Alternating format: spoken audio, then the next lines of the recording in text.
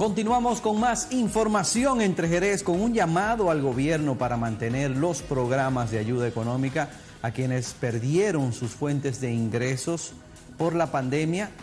Así concluyó este domingo el primer Congreso Nacional de la Fuerza del Pueblo y este llamado lo hizo el expresidente Leonel Fernández Reina. En el multitudinario CR encabezado por el presidente Leonel Fernández, específicamente en el Palacio de los Deportes, el colectivo trató de guardar el distanciamiento físico entre los presentes, cosa que poco se cumplió. Recuerden las palabras del doctor José Francisco Peñaguch. Primero la gente. Apelamos al G20, al sistema de Naciones Unidas, a la Unión Europea, a los Estados Unidos, al sistema financiero global para que en estos momentos de crisis de la humanidad sean generosos, sean solidarios y cooperen para salir de esta tragedia. Y el consenso fue dado votando 899 propuestas, de las cuales se aprobaron el 99.77% de ellas.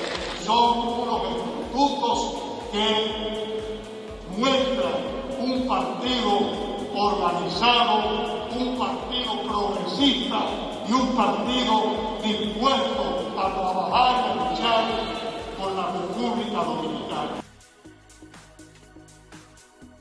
Bueno, muchas críticas en torno a esta actividad que aunque para la fuerza del pueblo fue algo bastante importante, para la democracia de República Dominicana es bastante importante, pero sin embargo el teteo no se permite. ¿Sabe lo que es el teteo? Que no se permite. La brincadera y la gozadera en las esquinas, en los colmadones, no se permite, pero se realiza y lo criticamos.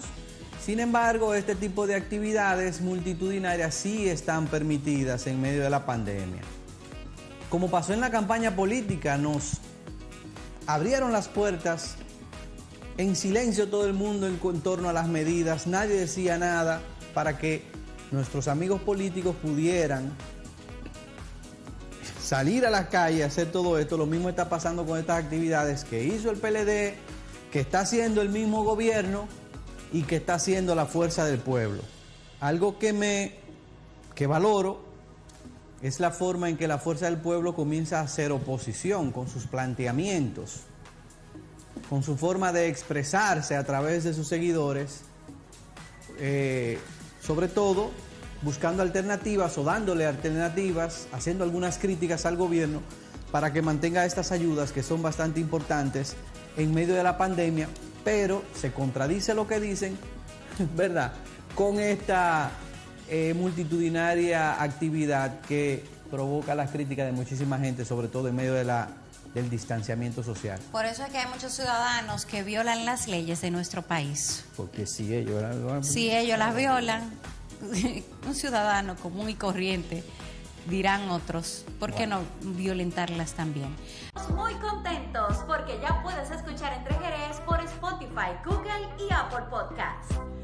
Felices por ti, porque ya puedes accesar a nuestro contenido, nuestras informaciones y nuestros comentarios desde cualquiera de estas plataformas. ¡Yes! ¡Somos Entre!